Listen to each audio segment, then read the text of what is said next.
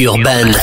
Alors on va vite fait euh, parler euh, de ce qui s'est passé il y a quelques semaines, enfin il y a quelques jours, pendant la quotidienne, une intermittente du spectacle est arrivée euh, sur euh, sur le plateau. Vous receviez Jean-Luc Mélenchon. Oui. Alors beaucoup de rumeurs ont, ont circulé. On dit que D8 l'aurait convoqué, lui aurait mis un avertissement, lui aurait même interdit direct.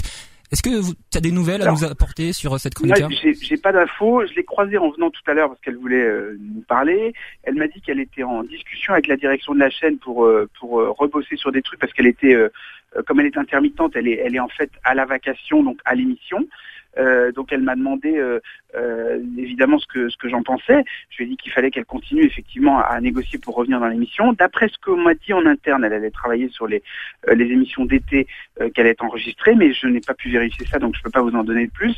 Et après, pour compléter votre question, il y a beaucoup de gens qui se sont interrogés sur les réseaux sociaux pourquoi au moment de la rediff de, de le, le replay, on avait coupé cette séquence? Alors, c'est pas nous qui l'avons coupé, d'abord c'est la chaîne. Et puis la deuxième chose, c'est que c'est obligatoire puisque les chaînes de télé ont une obligation, euh, d'après le CSA, une obligation de maîtrise de l'antenne. Et à chaque fois qu'on n'a pas la maîtrise de l'antenne, on peut se faire sanctionner. Donc comme là, quelqu'un qui intervient sur un plateau, c'est un défaut de maîtrise de l'antenne, bah, ils ont coupé cette séquence au replay, mais c'est la seule raison pour laquelle, c'est pas une question de censure, parce que de toute façon, ça avait déjà fait le tour des réseaux sociaux et le tour des blogs, Ouais. donc euh, supprimer cette séquence ne servait à rien. Donc il y avait évidemment pas de censure dans cette histoire, tout le monde l'avait vu.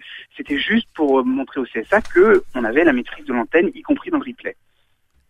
Bah, D'ailleurs, Ouais. il y, a, il y a un- il y a un retardateur qui aurait été euh, installé en régie. euh, Ça c'est pas vrai. D'ailleurs, euh, ça a été euh, diffusé sur des blogs, euh, sur des, des, des sites d'information euh, médias, et en fait c'est pipeau parce que Sur des sites Euh, assez, assez crédibles, enfin à première vue?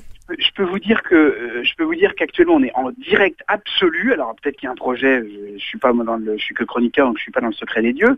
Je sais en revanche qu'il y a un certain nombre de chaînes qui, mais alors toutes chaînes confondues, qui euh, réfléchissent à des systèmes pour éviter euh, les intrusions sur les plateaux ou les problèmes euh, liés au direct d'intervention de personnes qui peuvent arriver ou mettre en danger tout simplement l'animateur.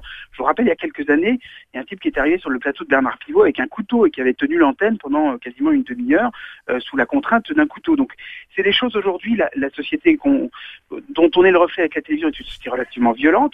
Donc je pense qu'il faut faire attention à ce genre de choses et je ne serais pas étonné que les chaînes réfléchissent, mais là dans leur globalité, à un système de retardateur de quelques minutes. Mais Ouais. je peux vous dire qu'en ce moment, ça n'est pas le cas des 8 et ça n'est pour l'instant pas en projet. donc c'est D'accord. confirmé. Bah les choses sont claires. Non, c'est c'est démenti. Euh, Urban Heat. Urban Heat, La puissance urbaine. la puissance urbaine.